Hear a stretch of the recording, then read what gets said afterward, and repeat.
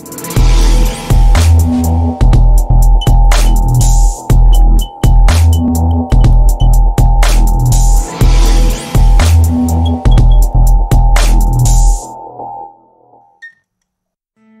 in this video we will learn about how to use post revision feature in WordPress.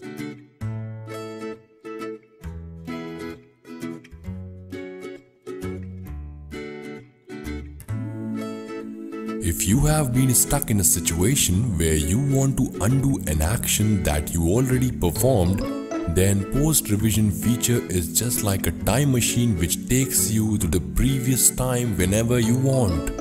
Now, in order to use this, log into WordPress dashboard and then go to plugins section.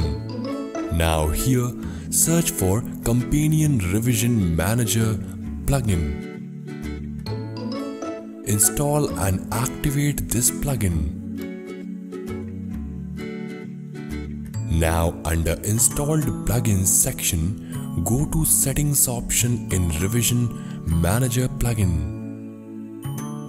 Now here you can set the number of revisions and other options.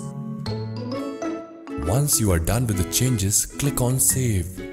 Now write a post for your WordPress website.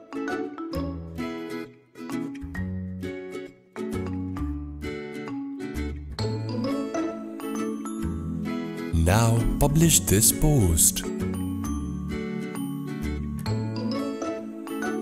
Now further update the post after some time. Now if you will update this post and click on update immediately a revisions section will gather all of the revisions that has been taken place since the time being.